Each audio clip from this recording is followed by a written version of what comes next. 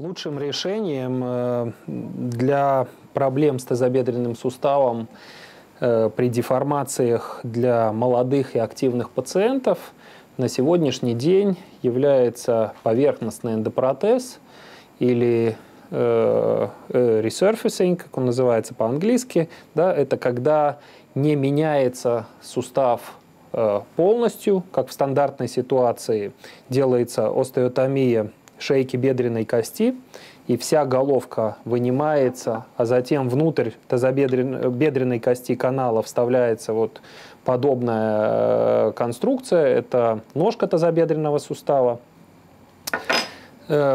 Более современным решением для молодых, крупных и активных людей, которые хотят продолжать заниматься спортом и жить полноценной активной жизнью, является вот такой поверхностный Э, поверхностный эндопротез. Когда просто головка э, бедренной кости, она специальным образом фрезеруется, подготавливается, и потом э, головка остается своя собственная, и потом на нее просто одевается такая металлическая шапочка и фиксируется специальным костным цементом.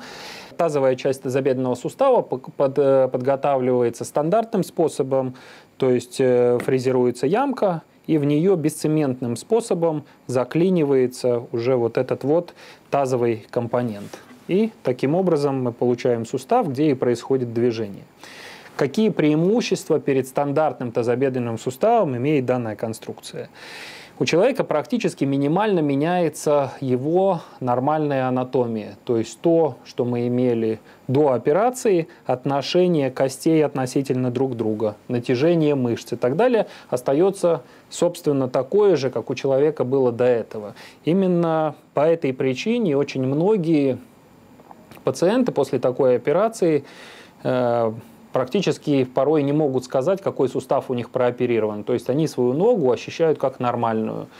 Конечно, существуют определенные ограничения, примерно полгода, иногда до года нельзя бегать и прыгать в самом начале, но потом можно вести очень полноценный образ жизни, и многие этого образа жизни и придерживаются, и достаточно серьезных результатов добиваются, скажем, в любительском спорте.